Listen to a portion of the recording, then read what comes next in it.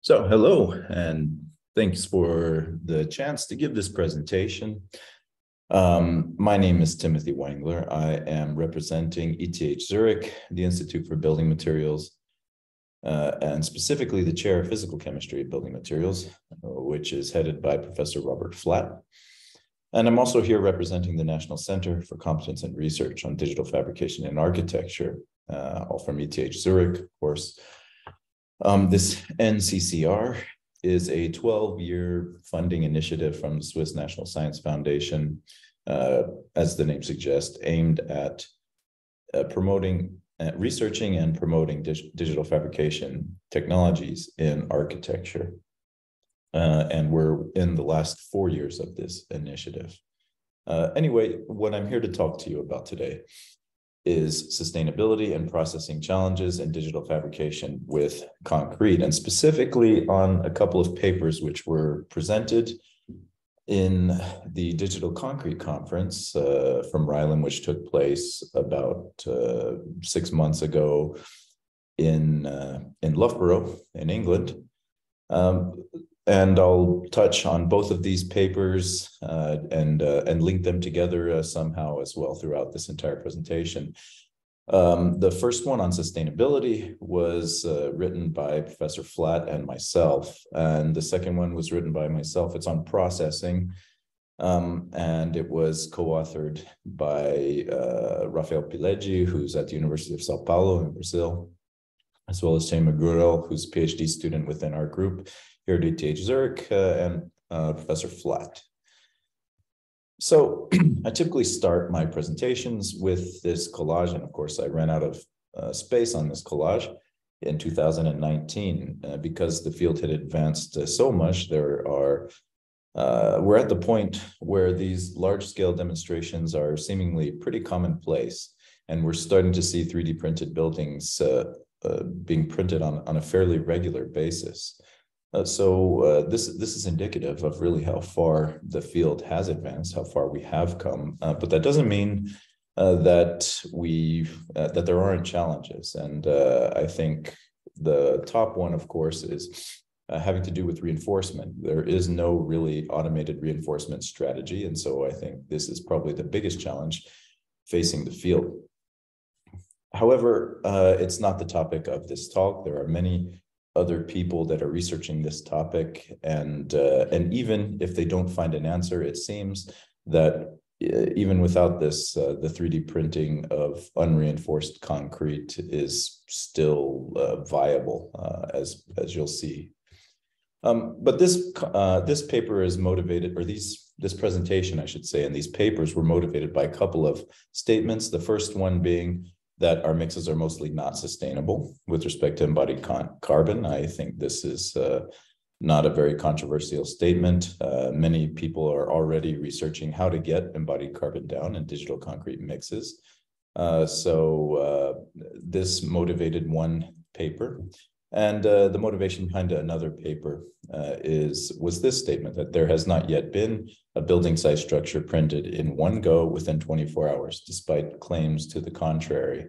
Uh, and still, even now, I don't believe that it has happened. Although I do think that uh, that we are capable of it. Uh, it does seem to be a fairly problematic thing uh, within the field. Anyway, this, these are what motivated these papers, and I'll go into them into these statements uh, one by one. Uh, but before that, uh, let's set the stage by uh, referencing a paper that was presented also in the Digital Concrete Conference. This paper was presented by some authors in the RILEM Technical Committee on digital fabrication with concrete or cementitious materials, which uh, finished uh, just earlier this year, I believe. Um, and these authors took a look at eight recent case studies. They wanted to know how how uh, additive manufactured concrete is actually being used. With these case studies, they found that actually it's still primarily demonstrations, although I think that has changed somewhat in recent uh, in recent months and years. Um, they quote that uh, the printed concrete is rarely used structurally, uh, and the reasons they give is lack of regulatory frameworks, although this problem is actually being addressed and there are standards that are uh, in motion and in place, very rapidly moving. Uh, and then the other uh, the other thing is the lack of suitable reinforcement, which I touched on earlier. Uh, as a result of this, um, often unreinforced masonry analogies are often applied. What that means is that 3D concrete printing is used to print lost formworks and unreinforced masonry. Uh, and uh, as you can see here, uh, for example, this is the famous 3D printed building, the large one in Dubai by Apis Cor. and you can see basically the general 3D printed building product that they are uh, that is being promoted primarily, which is a 3D printed unreinforced masonry wall, uh, and then voids printed where reinforcement is placed and structural concrete is subsequently cast. You can also see it up here. Uh, this is from a COBOD print, I believe. Um, I also need to make the distinction between 1K and 2K systems. This is done in that second paper that I referenced on uh, chemical process engineering and digital concrete. Um, in that paper, we define the difference between 1K and 2K. The K stands for component. It comes from the German word component, and it's commonly used uh, nomenclature in the in the coatings industry, and that's why we we adopt it here. Um, the main difference between these two uh, types of systems is that in the 1K system, we don't, uh, we, we basically mix the concrete, send it to the printhead and print. In the 2K system, we have acceleration at the printhead where we add an accelerator at the printhead to the concrete uh, and then print. And it's it will allow us to print more rapidly, as I'll as I'll note later. Um, uh, it's also worth pointing out that there this is an error in a published version of the paper, or there is in this figure, and I apologize for that. It was introduced during the proofing process. Um, now I'll talk about uh, just generally strength developed in cementitious materials. Uh, when you uh, when you mix water and cement, uh, I mean, the reason why we use it is because it eventually uh, it's it's fluid for some time, and then eventually it, it gains uh, it hardens and gains structural strength. In that period, that time where it's fluid, it can actually build strength. It builds strength through so uh, through uh, primarily uh, we call it thixotropic processes, where it's actually coming from flocculation and low level hydration between cement grains uh, before it reaches the limit and then eventually it has to wait for the onset of the accelerator. This limit is, uh, by the way, around half a meter to three quarters of a meter, very typically, although that can be increased with certain uh, chemical admixtures probably. Um, and then eventually, if you exceed that limit, uh, you end up with a collapse like you see here which means that uh, without any kind of set control where you rely on chemical hydration processes, uh, you won't be able to build much higher than this limitation. And then how do we achieve that set control?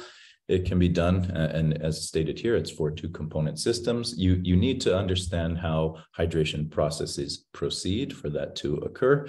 Um, and taking this old figure from uh, Marchon, we can see that uh, when you add clinker phases and uh, well cement, the uh, mineral phases in cement, which includes sulfatic phases. Here we have hemihydrate, but it's typically gypsum. Um, and then the clinker phases in uh, tricalcium silicate and tricalcium aluminate added to water. These clinker phases dissolve.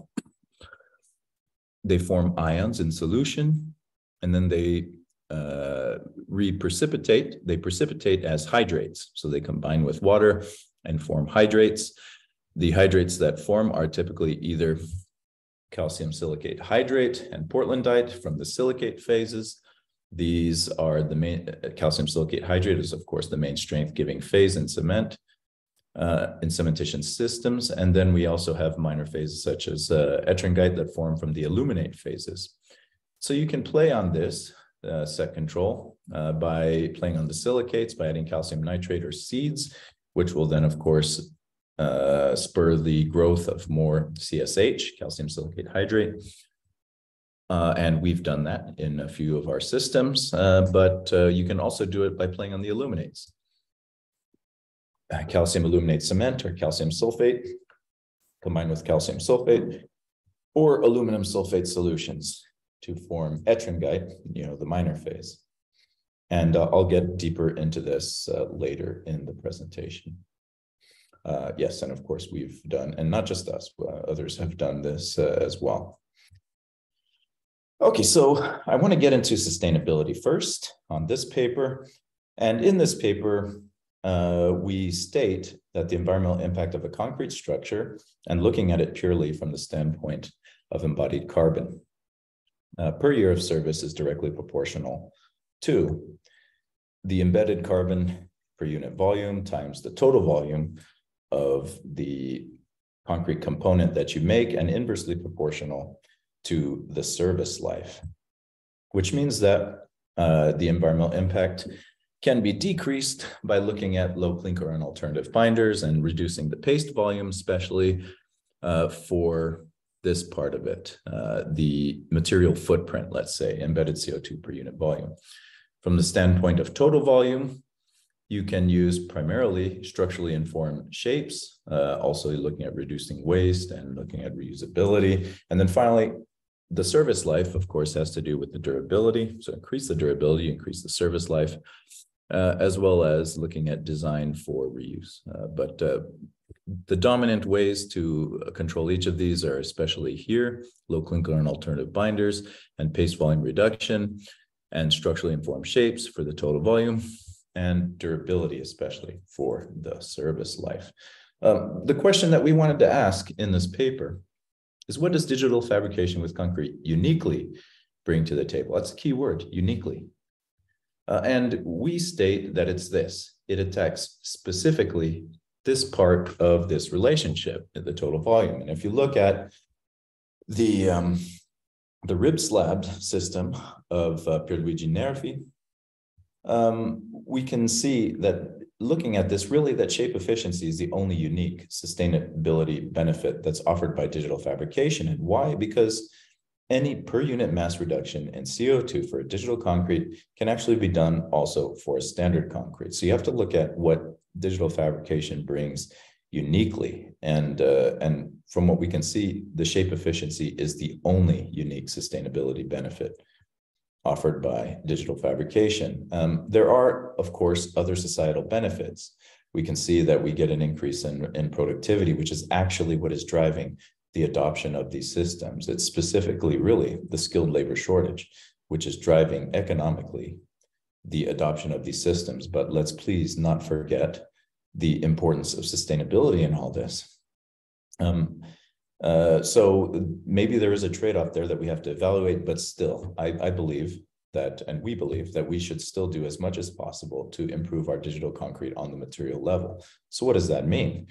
That means if we take a look at this relationship and look at how we can Im, uh, impact digital concretes from this perspective, which is, of course, already being done for others, uh, we have to look at what we can do. And specifically, the first thing we can do is to look at our digital concretes and see that compared to normal concretes, this table is taken from the paper, the OPC contents or the Portland uh, cement contents in standard concretes is much lower than digital, digital concretes.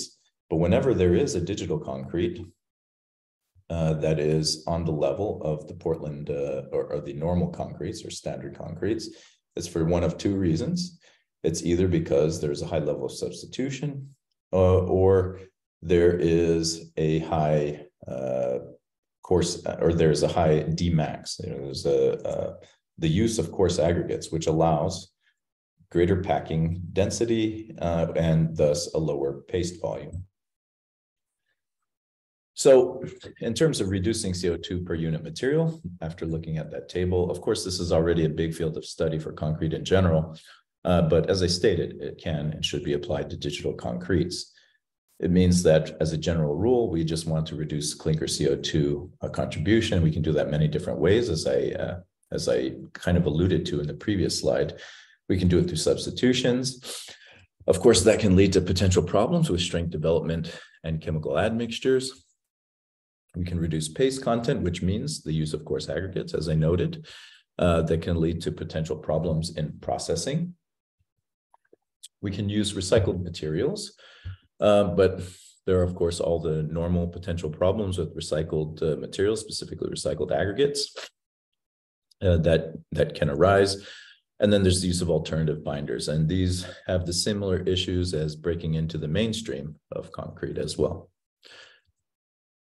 So in the paper, one of the things that uh, that Robert and I note is that one of the things we noticed was that, uh, of course, concrete masonry units are essentially what are being 3D printed. You'll recall that from the earlier slide.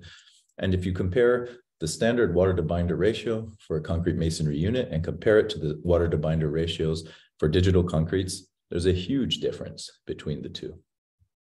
Uh, and we state that it's because we're using a low water to binder ratio in order to increase the buildability of these uh, digital concretes. Uh, specifically, if we take a look at the strength development uh, curve or strength versus time curve, we know that there are three important strength scales. There's the layer strength, which is on the order of 10 seconds to uh, tens to hundreds of seconds or uh, or tens to hundreds, sorry, of Pascal. Um, this is the strength that's needed for the uh, for the layer to stand. Then we have the building strength or the component strength. This is to the tens of hundreds of kilopascal. So this is the strength required for production for the material or the component to stand on its own. And then we have the design strength. This is on the order of tens of megapascal. Uh, this is the hardened strength of the concrete couple of time scales that matter are production time and the construction time scale. Production time is the component production time scale. The construction time scale is that on the order of days. And for ordinary concrete, uh, you want to have your concrete in place by the end of the open time, basically. So about uh, three hours, two to three hours, typically you want it in place at least by. Um, and then it eventually grows in strength over the days to its design strength.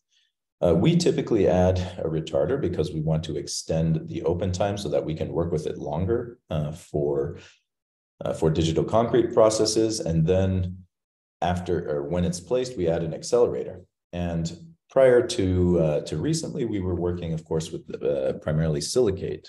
Uh, we thought that we have to accelerate the main strength giving phase of concrete.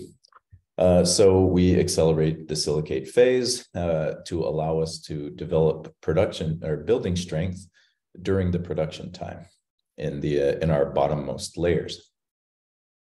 However, that doesn't help when it comes to the development of layer strength. You need still a little bit of strength to be able to stack layers on top of each other. And that means then uh, what has been typically done until now is to lower the water to binder ratio. You, people looking for ways to boost their thixotropy. Uh, and one of the easiest ways is to lower the water to binder ratio. That way, the interparticle forces are stronger. You get more flocculation, uh, and uh, with more cement, you get a little bit more of that low level hydration as well.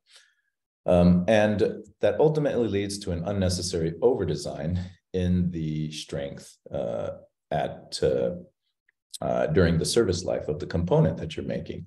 So it's like a trade off between getting a process to work and wasting cement in the long run.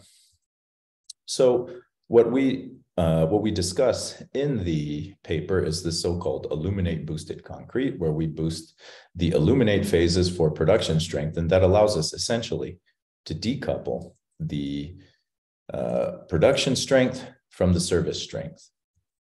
And so by decoupling design strength from buildability strength, basically what this allows us to do is reduce clinker and allow for buildability. And it doesn't just allow that, it also allows more important things like cantilevering. Uh, it's very difficult to get cantilevering without rapid strength build, build up. And that's another thing that 2K, um, 2K systems get you. And so when it comes to set control for 2K systems, uh, what this essentially is doing, this decoupling is decoupling the design strength from the buildability or production strength. You're using the silicates for design strength. You're using the aluminates primarily for buildability or production strength.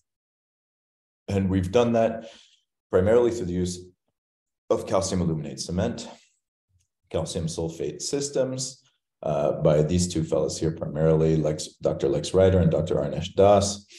Uh, and by increasing calcium aluminate cement contents, you can see that there's an increase in the aluminate activity, which increases the buildability. We've also found that these work well and are very robust in low clinker systems. In this recent paper, uh, with a 50% substituted um, uh, cement or uh, concrete mixture, actually mortar mixture for printing, uh, we managed to successfully print uh, at a at a at a very high, let's say, production rate. Uh, so, what are the advant advantages that you can gain from this? It allows robust acceleration of low clinker content cements. Uh, and as I mentioned, it also enables more shape freedom, cantilevering, which is, uh, again, I really want to drive that point home. It's the only unique digital fabrication sustainability benefit in uh, digital concretes. So, are there potential disadvantages? This is a worthy question to ask. And the answer maybe lies here in durability. How are we doing on durability? And the early reports are really not encouraging, at least from the uh, from the standpoint of uh, of certain studies. I will say there's still a lot of work to be done. I think here. With respect to durability, uh, our first look at it from the standpoint of carbonation on a 2K system, we took a 3D printed concrete, exposed it to an accelerated carbonation condition, and we found, as you can see here, rapid carbonation coming from the interfaces. So the interfaces are more permeable. Uh, so uh, for those who aren't familiar, the, the pink parts are the uncarbonated parts, the non-pink parts are the carbonated parts. And clearly it's happening fast and rapidly. And when we actually compare this to a, uh, to a similar material but cast, it's no question, it's uh, 10 to 20 times faster. Uh, and uh, at this interface, we see a very thick layer of carbonation products. So we see preferential transport at the interfaces and some recent work from uh, from uh, Van der Putten et al. from the University of Ghent uh, also sees this similar thing with 1K systems where they actually can observe increased carbonation with increased layer time intervals. So uh, there is uh, uh, there's a lot of questions to be answered with respect to 3D printed concretes and their durability. Now let's take a look at another durability uh, metric, freeze thaw. We did some experiments. So uh, Arnesh Das did some experiments in the lab uh, with looking at printed samples and cast samples, cycling them using ASTM, uh, using the ASTM procedure. And he saw by monitoring the mass loss that the printed samples lost mass starting even around 100 cycles uh, and cast samples with the same material were undamaged. Uh, and we see similar types of damage potentially also in the field. We've had a couple of, or we've had uh, several 3D printed columns exposed for a few years now. And within the first year, we already saw significant damage. Again, permeability in the interfaces, looking at moisture transport, uh, neutron experiments, the layer time interval between these uh, two, this was a 2K printed sample, layer time interval, five minutes, and also with a cold joint. Uh, and we see along the interface more rapid uh, moisture ingress, which has also uh, been, so this is coming from increased permeability. This has also been confirmed uh, by studies using 3D uh, printed concrete. Shorter layer time intervals don't see this increased moisture ingress, but with a 24 hour cold joint uh, at this, for this particular mix, we do see more rapid moisture ingress. And this also corresponds to chloride ingress as seen here. Along the lines of chloride transport, again, a study from Ghent, we see printed concretes with more rapid chloride ingress then cast concrete, similarly, uh, uh, similar materials, but cast. And then there is the question of drying shrink or plastic shrinkage and drying shrinkage, which is being investigated by many, many folks. It's also be a, a major part of the RILEM Technical Committee on hardened properties of uh, digitally fabricated concrete. In this study uh, from Moelich and, Moelich and authors, um, they looked at plastic shrinkage uh, and for drying shrinkage uh, long term and exposed columns. Again, we see something that we attribute to dry, a lot of vertical cracking that we attribute to drying shrinkage in our printed columns. Uh, it's worth noting, of course, that coarse aggregates, I think, will help a lot with uh, with respect to reduction of of uh, of shrinkage. So where do we stand on all this? Uh, it's clear that in embedded CO2 per unit material, we are pretty bad.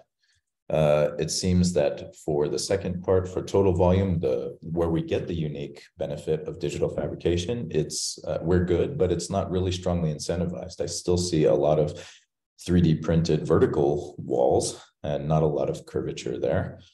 Um, and it's it's the curvature where, where, where we will really get our material savings within the curvature and design uh, of these uh, of these structures. Although I do think 2K systems will help a lot to to get us to that point.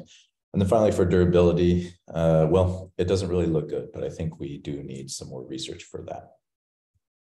Um, so the net result of this first half of the presentation has to do with 2K systems, you know, why we need them. I think we, it, as I noted, it helps us to get uh, more curvature in our uh, structures. We need coarse aggregates, and we do need an understanding of the process's impact on durability, which brings me now to processing and the importance of processing and understanding processing for digital concretes. And that's that was the focus of this paper. As i mentioned the the statement that drove the writing of this paper had to do with 24 hour prints of buildings at large scale. And uh, if we look at two buildings recently printed one the CAMC building printed with a COBOD printer and another one a large military barracks printed by ICON we can see clearly that there's an interface where printing paused and then they started again. So we're still not printing buildings in one go we, uh, in uh, within 24 hours. And there's uh, there's there's a number of reasons for that, but uh, uh, we suspect that one of the reasons is the development of strength and controlling the development of strength, where we think that 2K systems will uh, will help us a lot.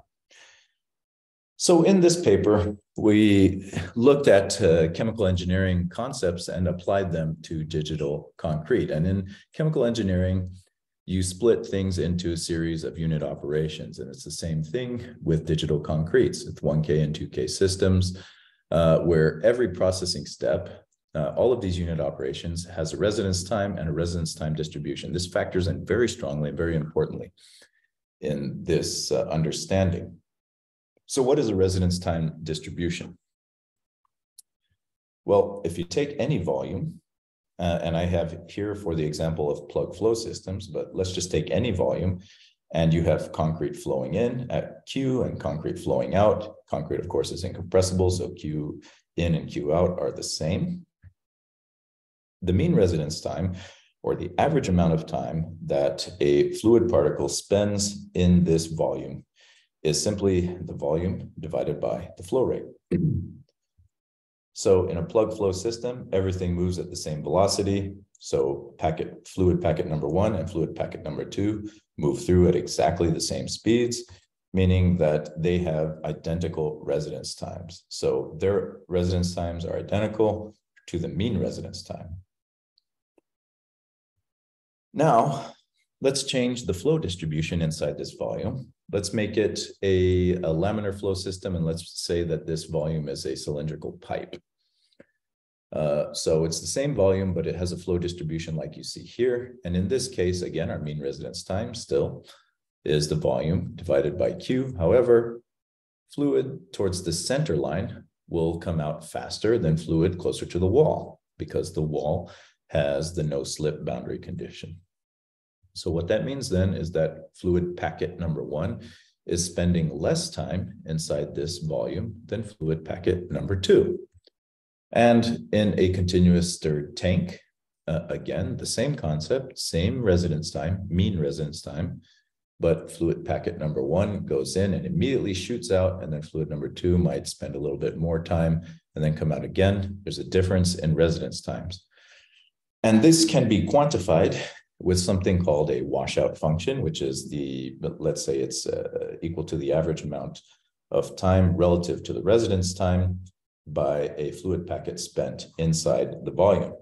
And for plug flow systems or batch systems seen here, it follows a Heaviside step distribution where everything comes out at the residence time. Laminar flow systems at about halfway, the halfway point of the residence time, material starts to trickle out. Uh, and you can see that even at uh, you know double the residence time, a few percent of your material is still inside the uh, the volume, and even up to three times your residence time. And then it continuously stirred. Material material immediately starts coming out, and it's a it's a slower progression where even at three times the residence time, you still have a few percent of material inside your volume. And why does that matter? It matters because it leads to variations in material age throughout different processing stages. And this is extremely important in a reactive and rheologically changing material, specifically in a hardening material. Because if material stays, if, if it's hardens while it's in any volume that it's not supposed to be in, this is obviously going to lead to processing problems. So when we take a look at, uh, uh, with this background in mind, and then when we take a look at the various uh, types of systems that were available on the market at the time that we were writing this paper, uh, we took a note of a few things, looking at larger print areas. Uh, and we see that large area systems are by and large 1K systems uh, and lacked the ability, or at least didn't demonstrate yet, the ability of continuous printing above a, a couple of meters. Uh, so these large scale systems seem, were seemingly incapable of that. Also, we saw that 2K systems, which were capable of that, typically, for the most part, uh, didn't show uh, a high Dmax, didn't weren't done with coarse aggregates. So uh, we identified that in general, large areas and continuous vertical printing, as well as coarse aggregates, have not yet uh, been realized. But, however, as you can see here, both CyBe and the NTU system managed to successfully print continuously and vertically. So that led to the question then, like maybe it's possible uh, to do this on the larger scale, which leads me to the concept of residence time management.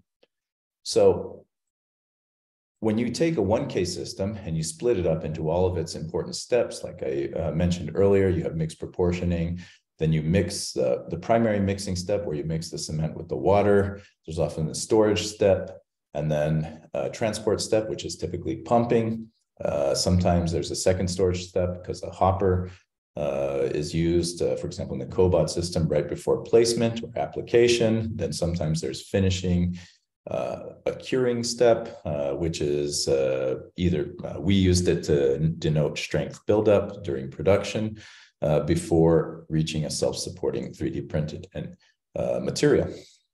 And the important point to note is that during primary mixing, when you add water to cement, the clock immediately starts. You start going towards the end of your open time. And you have first a residence time in the mixing step, you have another residence time in the storage step. You have another residence time during the pumping step. You have another residence time during the second storage step, another residence time during application step. Uh, so it leads to the question, what if all of the sum of these residence times was equal to the open time? In other words, could we continuously print uh, and get a material that starts to harden the moment it comes out of the extruder in the application step uh, so that we could maybe do this kind of continuous vertical printing with a 1K system? So can we actually print a building in one go by just managing our residence times? Uh, and if we take a look at, uh, at this, uh, it means then that so th this is a uh, this is a variation on uh, on the plot that we saw earlier, but it involves the introduction of this step here, uh, the sum of the residence times before placement. So this point here uh, is the extrusion point. And so what we find is that then uh, from this analysis in the paper is that the maximum vertical building rate can be linked not necessarily to your thixotropic buildup, of course, but rather to the, the buildup rate uh, where the, your open time ends and the onset of the acceleration period begins. So when I, I won't go into the details of this analysis, it's in the paper, but according to our plastic collapse failure criterion, if we start building strength at a certain point and we look at uh, and we look at the currently available printing solutions that we have, we actually don't need a 2K system for large areas of uh, printing. So the question is that maybe buckling failure is perhaps forcing the processing pauses, or there could be another reason for it. The uh, equipment is just not able to sustain uh, properly printing for that long periods of time. But whatever the case, uh, it's clear that managing residence times is the key to successful and continuous vertical printing. So for residence time management, in a 1K system, it involves managing several residence times. For a 2K system, essentially, you remove all of those important residence time and residence time distributions and res uh, uh, resolve it just to one because you typically add a retarder or you have a very extended open time for your material before it gets to the printed, and then you end the retardation through the addition of the accelerator.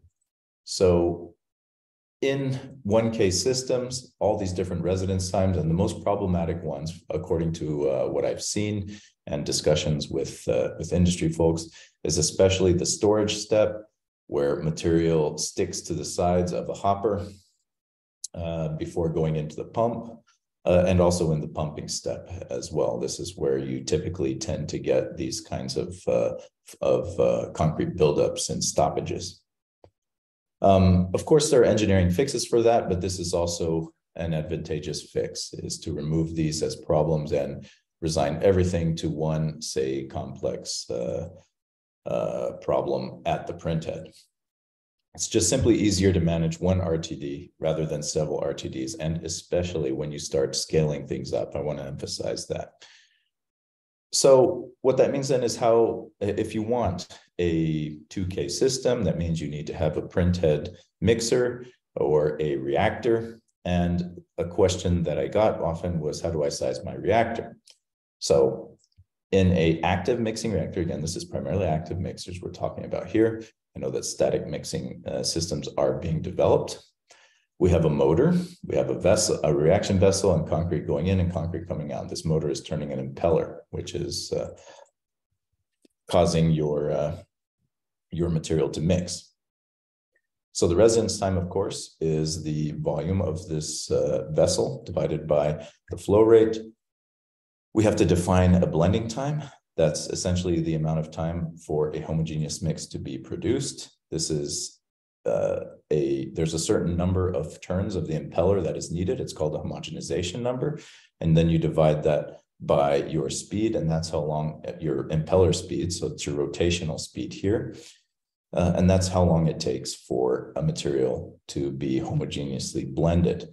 Uh, and then we define also an activation time. And an activation time is essentially the amount of time that your material can stay inside the uh, the amount of time that your material can after mixing is still processable and say. So at some point you build up too much strength and your material is no longer processable.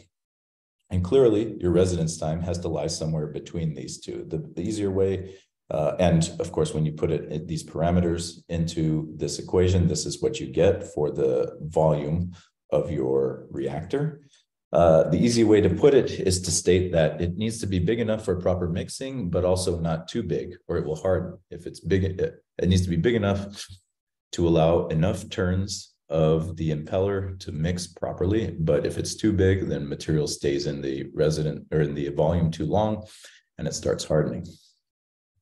Some general considerations, uh, especially looking at the strength curve after you add the accelerator um, is well, what you can do about the blend time is it's dependent on the speed, of course, as you could see, but it's also dependent on the Reynolds number, the mixing Reynolds number, and the geometry.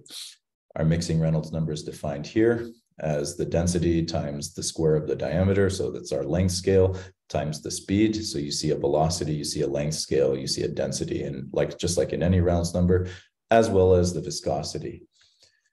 Uh, and as I mentioned, it's dependent on the impeller and reactor geometry. The activation time is for silicates. We have seen that it's in the uh, range of about uh, 20 minutes or more. We can't get it to go much faster than that, it seems. Uh, and with aluminates, this happens actually within seconds to minutes, which is what makes it so uh, attractive, of course, for rapid uh, for for rapid building technologies like shotcrete, uh, as well as 3D printing. Uh, so, uh, what then do we talk? what then about scale up? So, what do you need to consider in active mixer scale up? Is that at larger areas, we need faster print velocities typically and increased flow rates. Uh, and we also want to use coarse aggregates, which means larger equipment dimensions. And when it comes to uh, scale up, I'll allow Professor Maarten Steinbuch, who during Digital Concrete 2020 uh, gave the following. Speed, the productivity. And I think that that is where 3D printing maybe maybe seem to promise a lot, but in practice it is quite difficult to find the right business case because it is taking a lot of time to put each layer there. Mm -hmm. And if you want to do that with a certain accuracy, with a heavy robot arm, and it will be heavy because your your printing head is a heavy one in in in, in building and construction because yeah, there is concrete and it's it's heavy. So how to get the right accuracy uh, in combination with high productivity. And high productivity means speed. Mm -hmm. And if you go to higher speeds, the accuracy uh, locally goes goes uh, down. Whole ball game, of course, is oh, accuracy oh, sorry. versus speed. So, as Professor uh, Steinbuch was stating, there's this interplay between size, accuracy, and speed, which means that essentially, uh, ideally, what we would want to do is to minimize our printhead mass. So in scale up, we want to satisfy the processing requirements while minimizing printhead mass. And again, looking at our uh, our diagram of a printhead, we can see that there are three major parts contributing to the mass of it. There's the mass of the concrete inside the printhead. There's the mass of the the uh, reaction vessel or the mixing vessel itself, and then there's the mass of the motor used in an active mixing printhead. These two components depend on the concrete volume, so how much concrete you have in the mass, as well as mechanical forces. And this mass depends primarily on the mixing power. And then when we do this mixing, so mixing power, what is that and how do we determine it? Well, it's dependent on two dimensions, dimensionless numbers primarily. One is the power number, uh, and the other is the rent, the mixing Reynolds number. We already talked about the mixing Reynolds number. Uh, the power number is a number that you can maybe consider as is relating uh, the quantity of a uh, like an impeller uh, drag force, for example, uh, to the amount of of energy required to turn the to turn the impeller. basically, however, when we look at the power number, it's or the this relationship between power number and Reynolds number, we can see that there is a, uh, this is a log log plot, I would point out, where there is a decreasing relationship in the amount of power required with increasing uh, Reynolds number. Uh, in the laminar region and in the turbulent region, it is independent. But for concrete pro uh, mixing processes, it's almost always a, uh, a laminar relationship, or it's a laminar, uh, laminar mixing process which means that it tends to follow this relationship here, where, where the power is equal to a laminar power constant times the viscosity of your material uh, times the square of the impeller speed. And there is the, uh, the length scale as well, which you can uh, equate to a volume. Um, essentially, then what that means is that our mass of our printhead is dependent on the one hand on the volume of our printhead, a volume of our mixing vessel, let's say, and then the other hand, the motor is dependent on that volume as well as actually your impeller speed and your viscosity. And through this analysis, then you can make a few guesses or predictions using our ETH Zurich uh, printhead Uh, we can see, first of all, that the majority of the printed mass is actually in the vessel components, at least, uh, but that's probably because we're over designed. So uh, we probably could do some uh, optimization of our mechanical engineering design of our printheads. Uh, and what we can see also is that with increasing flow rates, you can either increase the speed at which you turn, that's what this line here is, or you can increase uh, or you that's what this line here is where we keep the volume the same and pump faster and mix faster or you can increase the volume and keep the speed the same which uh, is this linear relationship here which means implies that we should scale up our printheads by simply mixing at higher speeds however only if the viscosity is low enough. We can see that if we change the viscosity, then this relationship shows a very strong uh, dependence uh, and meaning that you need higher mixing powers with higher viscosities, which makes uh, which makes sense, and it increases, of course, with the square of that speed.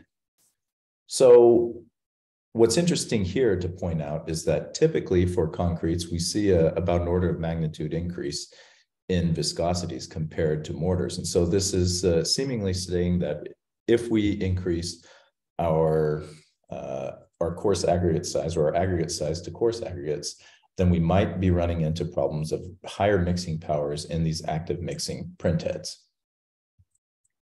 Okay, so uh, with that in mind, then I'll just uh, conclude this talk. First of all, uh, by revisiting the statements uh, that that were made earlier uh, with respect to mixes not being sustainable, uh, it's important to note, I think, that digital fabrication's only unique benefit is coming from shape efficiency, but we still should and try, and, and people are doing this actually, uh, to get our printed concrete as close as possible to, to standard concretes. I think there's actually a very strong economic incentive to move in that direction. So I'm, I'm confident uh, that we'll get there through clinker substitutions, uh, possibly the use of alternative binders, as well as increasing aggregate size. And there's a lot of benefits that come from increasing aggregate size. So I think we really have to move as a field towards there. Um, on the second statement, there hasn't yet been a building size structure printed in one go. Um, I think, uh, well, I hope I've demonstrated that it's going to be a, a, lot easier to do this with 2K systems rather than 1K systems. Uh, but uh, across wide areas, we need some scale up and scale up principles to be applied. Uh, and uh, one of those that we looked at in the paper has to do with uh, what happens to our print head when we need to increase uh, our flow rate and go to higher aggregate sizes. Uh, in that case, uh, we see that lower viscosities favor lower mixing power. So I think uh, the best thing we can do is to develop shear thinning and well-graded materials just to just to lower that required mixing power. and there's also really a lot of room for improvement in reducing mass in the vessel components. Uh, so uh, as I stated before, a lot that we can do with mechanical engineering design. Oh, well, I'd like to acknowledge all the uh, folks, my co-authors, of course, as well as many people in uh, in Switzerland and other institutions who have supported uh, the funding, of course, provided by the Swiss National Science Foundation and the NCCR. And I thank you for your attention.